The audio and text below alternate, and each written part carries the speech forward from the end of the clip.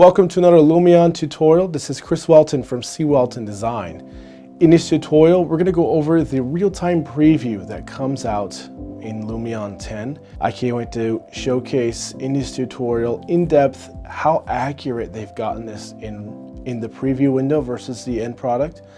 And I'm going to show off some diverse examples, some interiors, some exteriors, some different types of scenes, and hopefully be able to sell to you how awesome this feature is. So let's go ahead and jump right into this.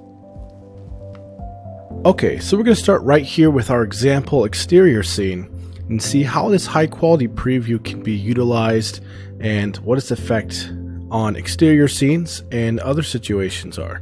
So let's first take a look at where we can find this scene, how it works, where we turn it on and off. And let's we have to preview it in photo or movie mode here. They say it works in 3D 360 panorama too, but um, so here is our scene right here, and we have a lot of effects already set up. And the big one that we are unable to see right now that really affects the uh, overall look is Skylight. Skylight was introduced in 8 and took Lumion to another level of visual quality with some much better light rendering and shadows that really bring life into it. But we couldn't preview it before. So I'm going to click on my scene right here. This is what Lumion is previewing. And to see what Skylight would actually do, we would have to render it out and watch. There's Skylight right there. So I have it actually off automatic right now. So I have to click in the scene to see what happens. And as you're seeing right now, the chain the scene has changed pretty dramatically in this in this case, and sometimes even more dramatically this can happen. And that is what it's giving us. It's gonna do 16 little passes there and get a pretty decent, ac- uh, pretty accurate and decent preview it's not perfect to what's being rendered, but it it gets the coloring. It it lights up. It lights the areas up that Skylight works on, so we know what's going to be happening. We don't have to guess, and it works pretty quick. This is a pretty heavy scene in some ways. Got a couple ultra trees going on in here, and it works pretty quickly. I've had I've tested on some really heavy scenes, and it's really not too bad. But notice that I have the preview technically off. What that means is I go around and I have to click inside here, just as it says right here, to get that preview. I, I kind of like this because a lot of my scenes are very heavy and it could be maybe an annoyance to have it constantly updating on me. It's it's still not too bad, but I'm glad they gave us this option.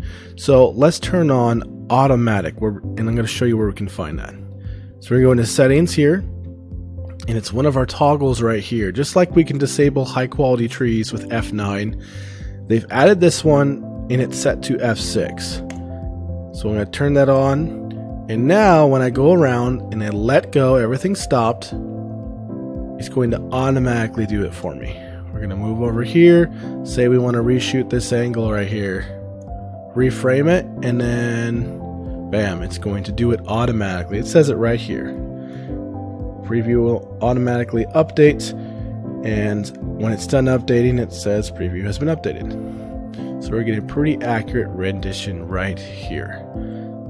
So let's go ahead and put that to the test and see how close Lumion has been able to to get this high quality preview to the final result. So I'm going to start right here. I have all of these pre-rendered and we're going to compare some screenshots. But just so you see everything on the screen happening, you don't see any Photoshop wizardry going on to try to oversell it.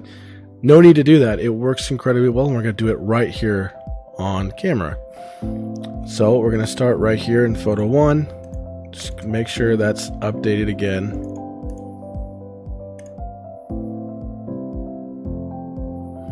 And what I'm going to do is I'm going to use the this tool in Windows to get a screen capture to save the viewport and what's been rendered right there.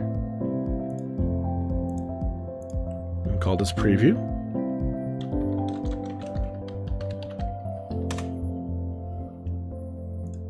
And I'm going to go ahead and render this one shot right here, just 1080p.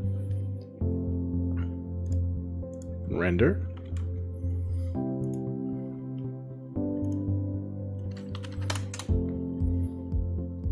It'll just take a little bit. There's a lot of effects going on. So let's go ahead and sit through this. And I think I'm also going to do is, for the heck of it, let's just capture a non-previewed one too to compare.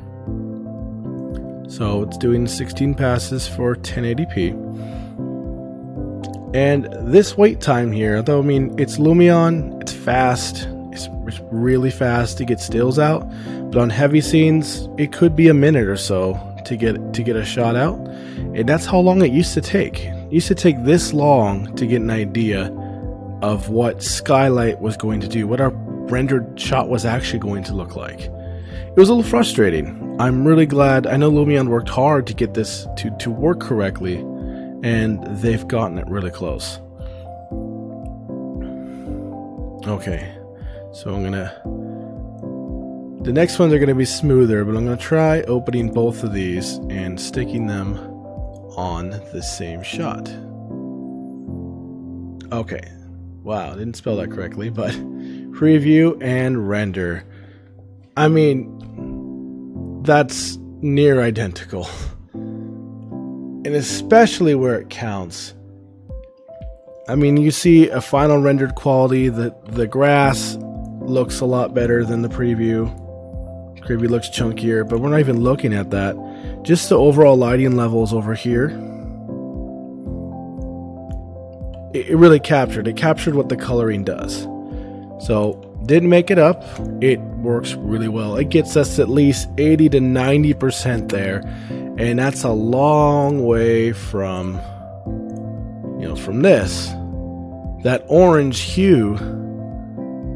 Uh, let's disable that really quick with F6. That orange hue right there. That looks way different than that. So Instead of misleading us now, Lumion is going to give us a very close rendition. Excellent. Okay, so like I stated before, I'm going to do this a little more cleanly with the power of some video editing. I'm going to go ahead and click on these guys, turn on automatic preview. Alright, from this to rendered shot. Let's move on to this one similar lighting, different angle, to rendered. Another angle, similar lighting, compared to the render. Now we have some exteriors. Oh, love that. Excellent scene setup to render. Everything looks orange. Oh, it's all balanced because of that skylight effect. Now we have a different lighting situation here compared with the render. Here's another one.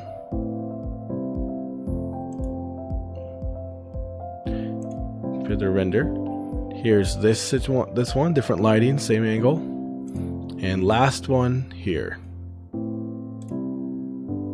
Another similar lighting angle or similar lighting situation compared to the render.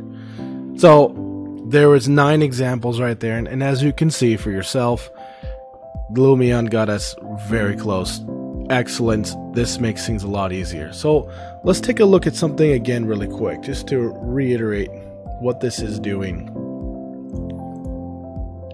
So if I turn off Skylight, when I click on the window to preview, it still does something. I, I am kind of been saying that it only is doing sky, Skylight it's refining a couple little things. I don't actually know specifically what.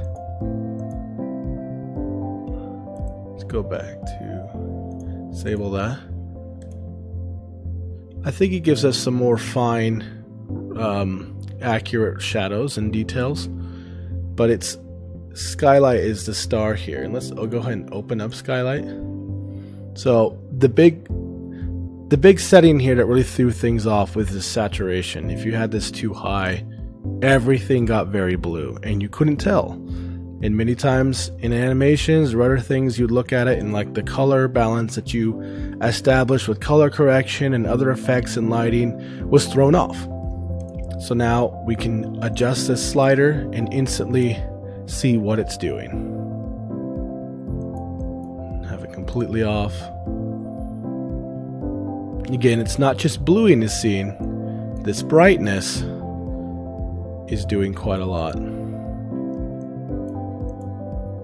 That's what's really let's let's try it again here. Saturation normal.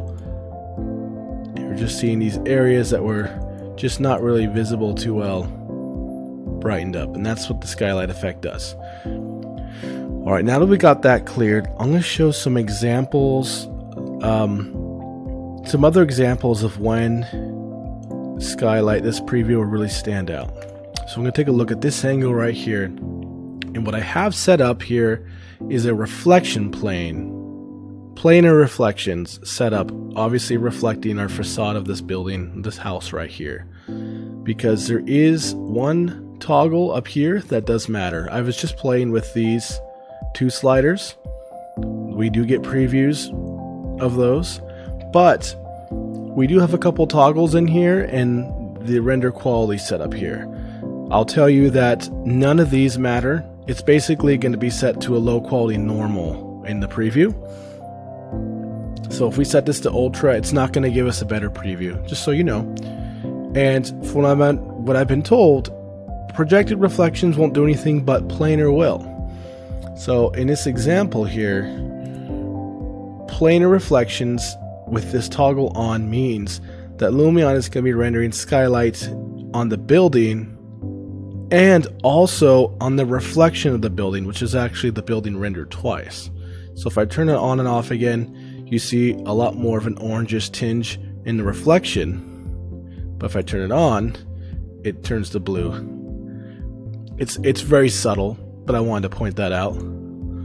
I'll just do this screen capture right here. And then we'll switch it to off.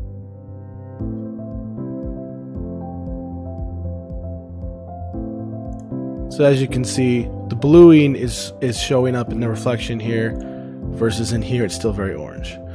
So I want to cover all our bases here on on the high quality effect and there's just a minor little detail in there.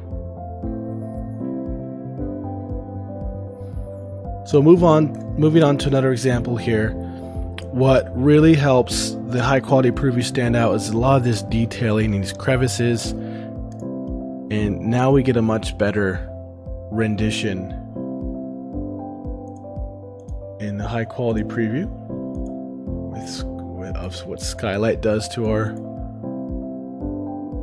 Skylight does to a lot of different angles and, and, and a lot of parts of our scene. And also these incredible fine detail nature trees we got you know, it looks really good here. We got a bunch of leaves here, but when we click on the preview, we see a lot more things going on. I'm seeing the subsurface scattering and different layering of the leaves make a big difference. And that's what they'll look like rendered. Alright, so that covers it for our exterior look at this. Now I'm going to switch to another model to showcase what this does for interiors.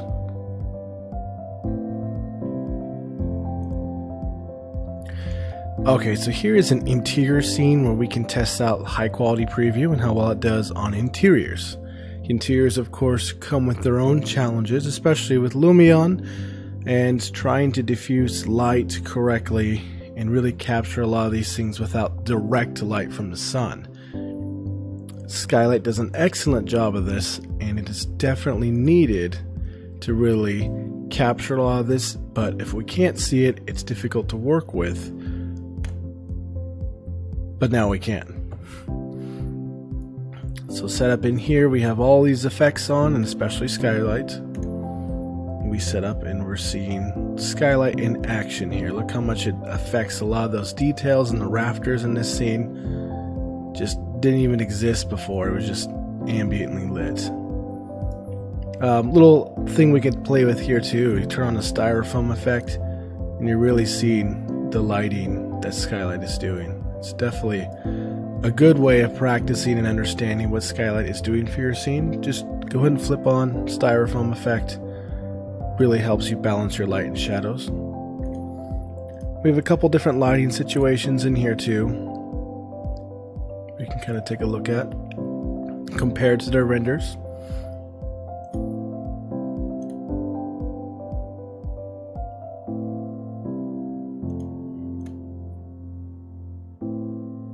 Definitely just lighten up areas that are real time, just kind of either have washed out or just no detail in. Creates much more accurate and photorealistic lighting uh, dispersion throughout. And look at this night scene. We have some something bright going on that's lighting the side, but this whole wall is dark. The rafters are dark, but when take a look at what Skylight is doing, all of a sudden we can see everything on that wall. So just a little testament of everything that Skylight does for our scenes. In an interior, working with that specific shot at night in this upper loft here, it's really hard to frame that. Now we can see what Lumion is capable of bringing out and where we can where we can better stage our scene. So incredible incredible this effect. Um, very excited to see what we can do with this effect now, how we can maximize the skylight effect, seeing exactly what does without having to sit there in a couple minute renders to see what's going on. I'm very happy that this has been brought back. Lumion is now, again, fully real time and able to see everything with pretty much instant feedback. That's what I left to come into Lumion was having to hit a render button and wait a couple minutes just to be no no no no that's not right. Adjust. Again, another couple minutes, it starts to come into view. Oh, nope. That was the world that I left coming into Lumion and didn't look back. Seeing Skylight was amazing. So started to see it kind of almost go that direction. I'm so glad that Lumion has added this and taken us back into that real time feedback and editing. It saves so much time. It's such a better way.